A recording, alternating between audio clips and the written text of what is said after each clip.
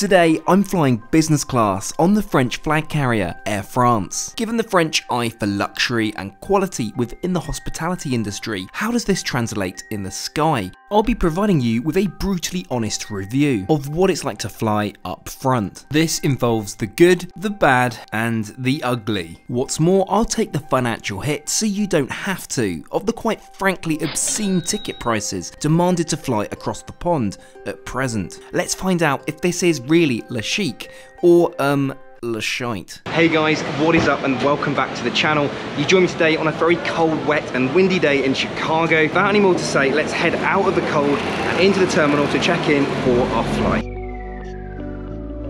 Being the fact that we're going to be flying on business class, we thankfully have Sky Priority. If not, the economy queue does look pretty long.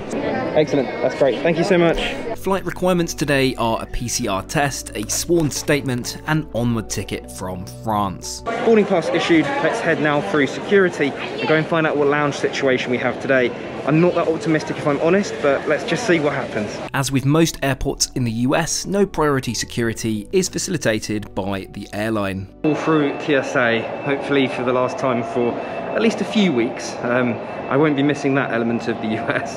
Anyway, now I need to go and work out if there's any kind of lounge. Now I've read online that there is an Air France lounge, whether it's open is another fact altogether. Also, I never got told about any kind of lounge access at check-in, so I'm assuming that probably it's not the case. However, I've got Priority Pass, got Amex Platinum, so maybe there'll be some other options. And so begins the most disappointing airport lounge crawl I've ever done. Behold, the closed Air France lounge. So what else can we find? This is Chicago International Airport after all. Korean Lounge, closed. BA Lounge, entry restricted. SAS Lounge, closed. So literally the only other option and one is of course this lounge here, but it's at capacity. Refusing to give up, and after my phone research yielding nothing but the option of a workspace cubicle, there's only one place left. Can I get a vanilla milkshake, please? You don't have any? Can I get a Diet Coke and a cookie then, please?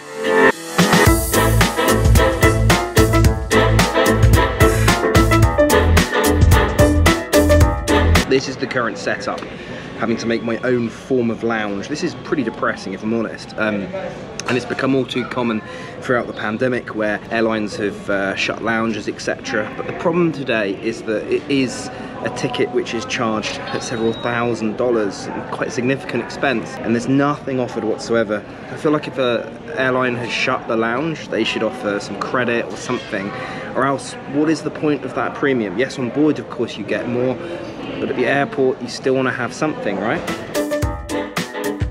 After that, uh, if I'm honest with you, total mess of an experience. Let's hope that it gets a little bit better now. Let's go over to gate M8 just over here and go and see what Air France is really like.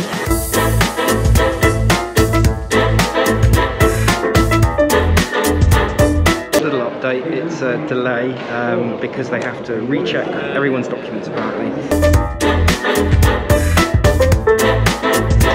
Go and get on board. Crikey, a lot of extra document checks today. Ah, it seems I spoke too soon. We have to wait for a further 20 minutes at the entrance to the jet bridge. Finally, it appears that we're going down the jet bridge. Some, uh, let's just have a look at the time. Yeah, we're well over an hour behind schedule, but let's draw a line under that and focus instead on the onboard review today. Let's hope Air France make up for this in the sky. It's time for a quick word from today's video sponsor, NordVPN. It goes without saying I travel a lot, using countless unsecured internet hotspots in airline lounges, hotels, and even bars. For years now, I've been using NordVPN to protect my privacy online. It's not just for privacy though, but to keep in contact with my friends and family back home in parts of the world where FaceTime and WhatsApp are blocked, such as in Dubai. With NordVPN, I can change my location back to the UK and continue to use these blocked services unrestricted. This also means I can continue to watch my favourite TV shows and even sports as to all intents and purposes, my computer is virtually based in the UK now. If you don't use a VPN to protect your privacy at home or when you travel, right now you can get yourself the holiday season deal. Go to nordvpn.com slash trektrendy to get a two-year plan plus one additional month free with a huge discount. Remember, this comes with a 30-day money-back guarantee. Thanks again to NordVPN for making this video possible. Welcome on board the Air France Boeing 777 with business class in a 1-2-1 layout. Let's get my luggage stowed and settle into my seat, 17 Lima. If travelling solo like I, you'll want a window seat as these all feature direct aisle access and relative privacy. The seats are spacious enough, but I don't like the yellow cabin lighting. I wish they could take some pointers from Virgin Atlantic on cabin ambience. Shortly after arriving at my seat, I'm presented with a pre-departure beverage. I go for water and OJ this evening, but champagne is available. I also have a menu waiting for me, complete with a wide selection of food for this 8 hour flight. We'll take a proper look at this when we're airborne. There's also an amenity kit handed out containing Clarins moisturiser, dental kit, flight socks, a pen, shoehorn and eye mask. Not bad at all. It's not long before boarding is complete, so I get my seatbelt fastened and we begin to push back, well over an hour late now. The safety video is screened, which I really like on Air France. It's engaging, classy and very French.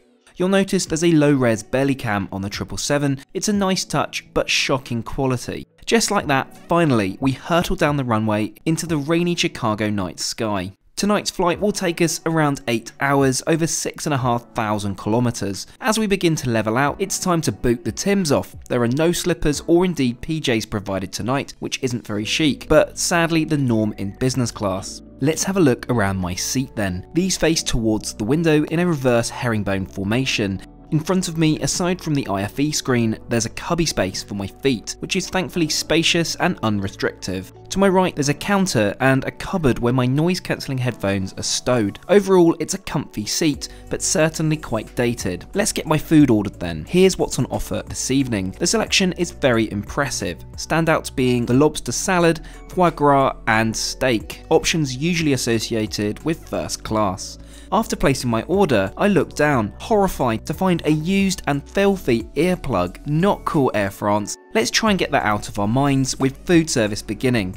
My tray arrives, yes, it's all served on one tray because of uh, COVID, so now begins the arduous task of taking all the plastic lids off one by one revealing my tasty starter of lobster salad with smoked pork. It was every bit as delicious as it sounds, so top work Air France. Next up, after a sip of sparkling water, I'm offered some fresh bread, which complements my salad. So the main event, steak with a red wine jus. This is perhaps the most impressive steak I've had in business before, cooked medium rare as you can see. This is particularly rare to see on board as they're usually cooked like leather, so top marks here.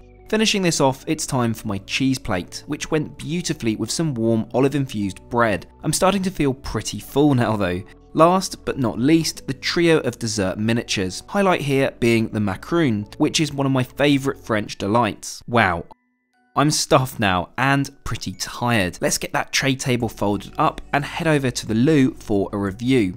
It's very 1990s in here, there's no real creativity, however there is some cabin spray, generic hand soap, but impressively some quality full-size Clarins amenities. Aside from that, nothing special though, so after freshening up, let's return to my seat and get this made up into a bed. You get just a blanket and pillow provided, with no mattress pad, but today I have the added luxury of the flight being quiet, so I'm able to use more pillows and blankets. Of course the seats go fully flat, which is the norm in business class these days, but it's a comfortable space. The seat is a good balance of firm and squashy to allow for a comfortable yet supportive sleep. The main issue though is the airbag in the seatbelt, which restricts your ability to move very much.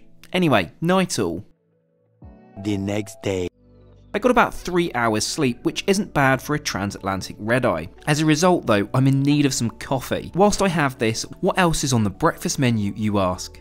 It's not bad at all, and whilst I can't say I'm starved, for the purpose of the review, I'll try it out. The breakfast omelette is fluffy, fresh, and very tasty. No powdered eggs here. There's yogurt with granola, which is okay but nothing special.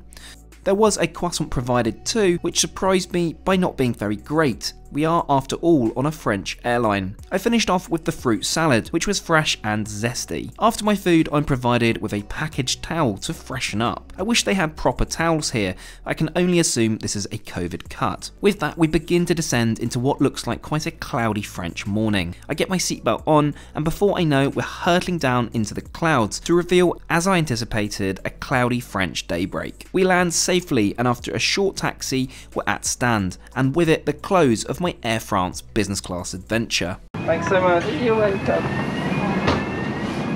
Right guys, so welcome to Paris, France. That was a really, really good flight actually. I was thoroughly impressed with Air France's business class proposition, uh, given the fact that their 777 actually has a, a, pretty competitive business class and the fact that it's quite an old plane as well. You'd probably want to pick the A350 if you could, but of course that's not on all of the routes. Anyway, I hope you've enjoyed watching and I'll catch you guys all again next week.